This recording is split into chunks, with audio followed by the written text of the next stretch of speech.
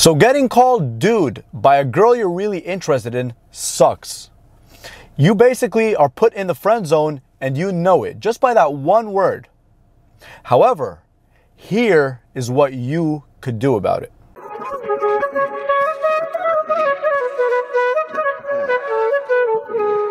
What's going on, guys? My name is Assam from dopelifecoaching.com, and today I'm going to be talking about when a girl calls you dude. So if it's your first time on the channel, guys, and you'd like consistent update on content like this, do yourself a favor and hit that subscribe button and also hit the bell icon so you don't miss a single thing. And also liking the video will help a lot, and I'd really, really appreciate it. So let's backtrack a bit for just a second. Now, if a girl already is calling you dude, or if she sees you in friend zone right now, it's pretty likely that you did something wrong to cause her to see you as just a friend. Not always, but it is likely. That being said, you really need to familiarize yourself with my content and also book yourself a coaching session with me, even a free one, a 10 minute consultation, so you really, really grasp this material and also so that it doesn't happen to you again. All right, so let's go over a couple of things here. Number one, just because she calls you dude doesn't necessarily mean that you don't have a chance. That's number one. And number two, if she calls you dude and she only sees you as just a friend, you still have a shot at reattracting her and turning things around for yourself. So even when a girl calls you dude, you can still do one of these two solutions that I have, depending on your level of comfort with the girl and also depending on your personality type. If you're serious, you're gonna respond one way. And if you're more of the friendly, playful, funny guy, you'll respond in a different way. So let's just hypothetically say that this girl is calling you dude and you're either at a party or you're texting, whatever it is, and you're more of the funny and playful type, you can go ahead and respond with this. Tell her, is that something you call all of your attractive guy friends? Or you could say, is that something you call all the attractive men you know? Just say that and leave it at that. Now, you saying that basically implies that number one, that you're attractive, and number two, you're calling her out on it.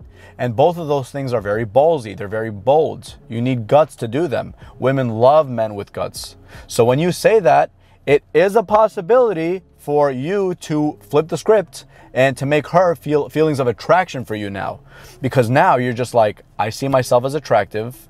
And also, because she used the word dude on me, I'm curious, is she calling every other guy that she sees attractive dude? So when you're calling her out on that, most guys don't do this, bro.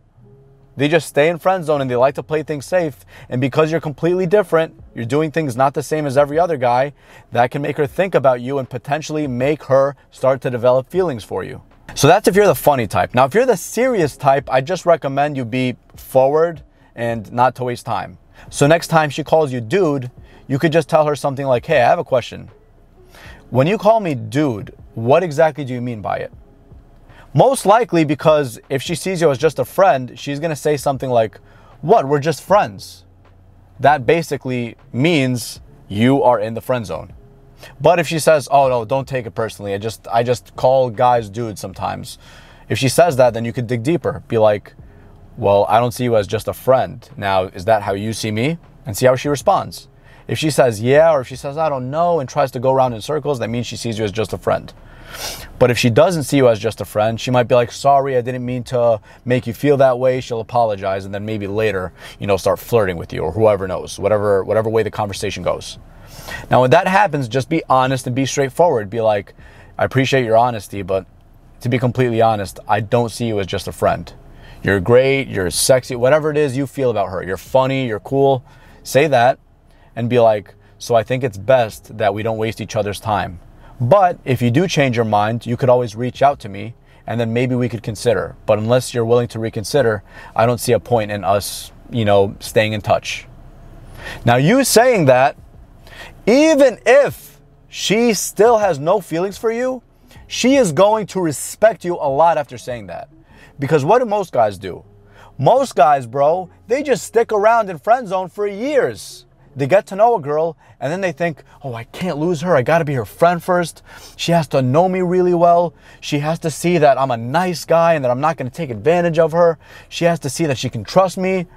And then over time, while the girl may be interested at first, that's how it usually starts that the guy was interested and the girl may potentially see some sort of a spark at least.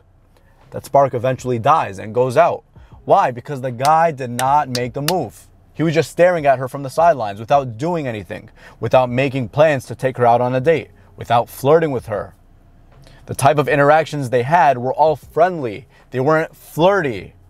They were acting like two buddies would act, like two guys would act, basically. Or he was treating her like a sister, not as a potential romantic interest.